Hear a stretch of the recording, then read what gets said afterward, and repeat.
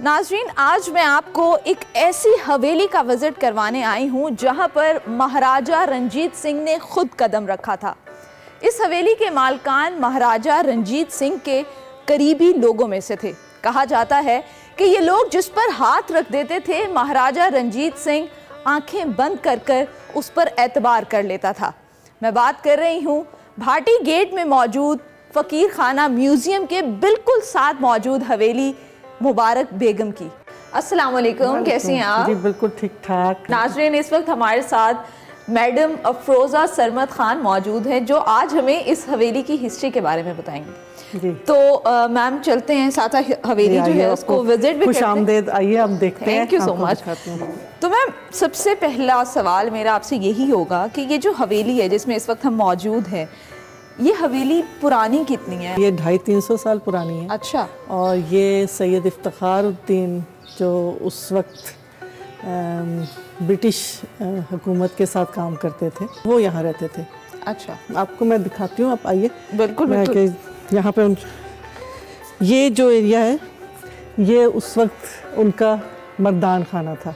अच्छा जब कोई बाहर से कोई मर्द हजरात आते थे तो उनकी तो, बैठक यहाँ पे जी बैठक ये होती थी। ठीक है। और ये जो एरिया है ये सहन और वो सामने वाला एरिया लेडीज़ एरिया होता था। अच्छा मैम अभी आपने मुझे बताया कि ये तकरीबन 250 से 300 हम्म। साल पुरानी हवेली है।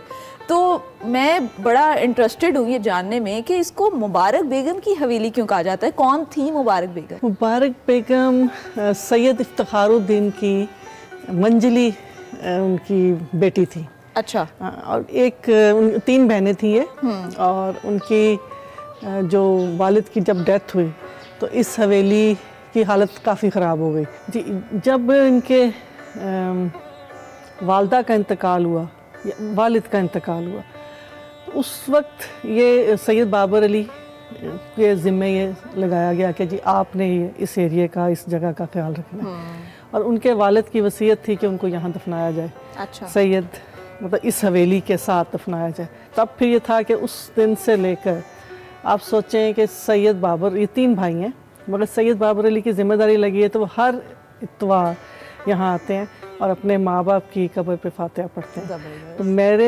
नज़दीक तो ऐसा मैंने कोई भी इंसान नहीं देखा। माशाल्लाह उनके वालदेन भी खुश नसीब हैं। और आगे ये जहाँ वो पैदा हुए थे तो सैयद बाबर अली। बाकी बच्चों का मुझे इतना आइडिया नहीं। सैयद बाबर अली के बारे में सुना है कि वो इस ये जो आपके बैग पे कमरा इस कमरे में? जी इस कमरे में पैदा हुए थे। अच्छा तो हम चल के देख भी लेते हैं। जी जी ज़रूर। आए।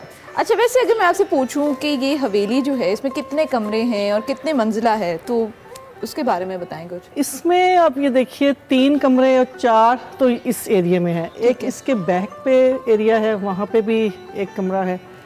तो वो एरिया इनकी जो सैयद बाबर अली की जो खाला थी वो उनका हिस्सा था। अच्छा। तो मगर वो भी उनकी औलाद कोई नहीं थी तो फिर वैसे बस ये ग्राउंड फ्लोर है? जी जी ये ग्राउंड फ्लोर है ऊपर एक कमरा है जो गार्ड्स के लिए है। ठीक है। एक ज़माना था कि यहाँ बसंत बड़े शौक से मनाई जाती थी। बिल्कुल बसंत जो है वो तो अंदरून की खूबसूरती थी। अच्छा तो तीन सौ साल पुरानी हवेली है तो जितनी वैसे मैंने अभी तक हवेलियाँ विज़िट की हैं उसमें सुरंगें होती हैं तहखाने होते हैं। तो इस हवेली में कुछ ऐसा है? इसमें एक तहखाना है।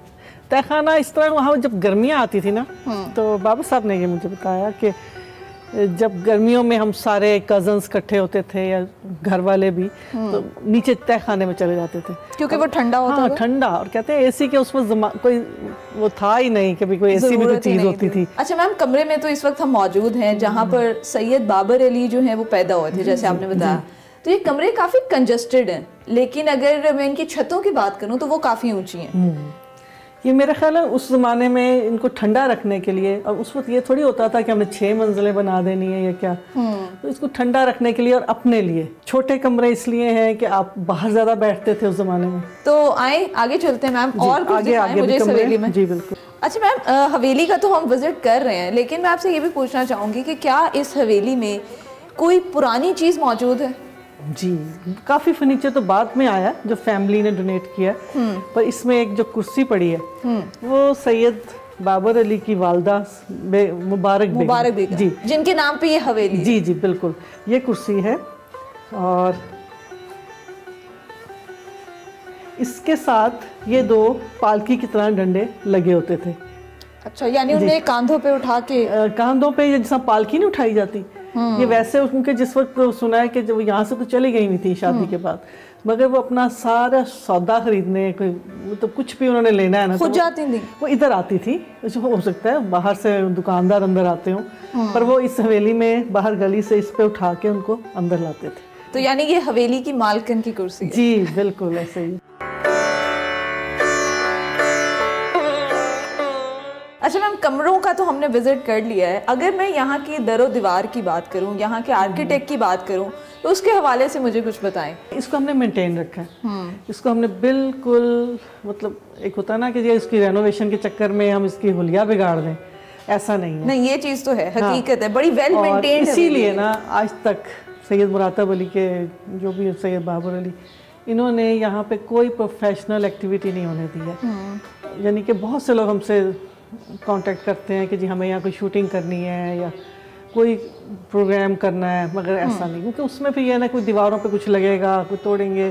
तो हम ये ख्याल करते हैं कि अगर वाकई कोई एक्टिविटी करनी भी पड़े तो उसमें दीवारें ख़राब ना हो वरना तो फिर इस तरह करने लगेंगे तो, तो ज़ाया हो जाएगा। क्योंकि ऐसा आर्किटेक्चर अब आजकल बचा नहीं है। अच्छा मैम मैंने हिस्ट्री में पढ़ा इस हवेली के हवाले से कि यहाँ पर महाराजा रंजीत सिंह जो थे उनका काफ़ी आना जाना था। जिस तरह सैयद इफ्तारुद्दीन उस वक्त के ब्रिटिश गवर्नमेंट के साथ काम करते थे तो उस वक्त के बहुत से शुरफा यहाँ आते जाते थे और उनकी जो वालदा थी बाबा साहब की मुबारक वो एक बहुत सुलझी हुई और बड़ी समझदार खातून थी। आसपास के अच्छे शुरफा जो थे वो आते जैसा सैयद डॉक्टर इकबाल इस तरह के और बहुत से लोग यहाँ आते जाते थे।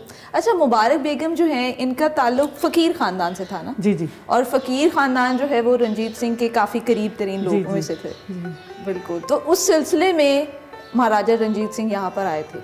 अच्छा मैम हमने बातें तो काफ़ी कर ली हैं लेकिन अभी यहाँ पर मुझे एक कुआँ नज़र आ रहा है। तो वो मुझे चल के विज़िट कराएँ मुझे उसके बारे में कुछ बताएँ कि क्या ये अभी चल रहा है या सूख चुका है? नहीं ये सूख चुका है।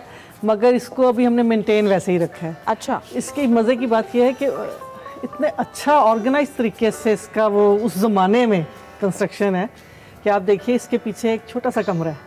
हम्म। जो यहाँ से पानी निकाल के ठीक है। तो अंदर उधर मेरा ख्याल है उसको स्टोरेज वॉशरूम नहीं वो वॉशरूम होगा। अच्छा वॉशरूम है। और ये ड्रेसिंग होगा साथ। ओके जो हम लोग अज्यूम कर सकते हैं कि ये क्यों इस तरह कमरे इकट्ठे हैं। हम्म। तो यहाँ से पानी निकला वहाँ पे वो वॉशरूम है और यहाँ पे ये फिर ड्रेसिंग है। ज़बरदस्त। यानी इस हवेली का आज से 250 300 साल पहले जब ये तामीर की गई थी उस तो वक्त भी इसका स्टाइल देख लें। स्टाइल तो था ही लेकिन इसका पानी का निज़ाम भी अपना ही था। जी जी। Thank you so much for your time और बड़ा मुझे अच्छा लगा आज आपने मुझे इस खूबसूरत हवेली का विज़िट बहुत शुक्रिया आप लोगों के आने का। हमें भी बड़ा अच्छा लगता है जब आप आते हैं। थैंक यू तो नाजरीन आज मैंने आपको हवेली मुबारक बेगम का विज़िट करवाया। ये हवेली 300 साल पुरानी है लेकिन आज भी अपनी असल हालत में मौजूद है।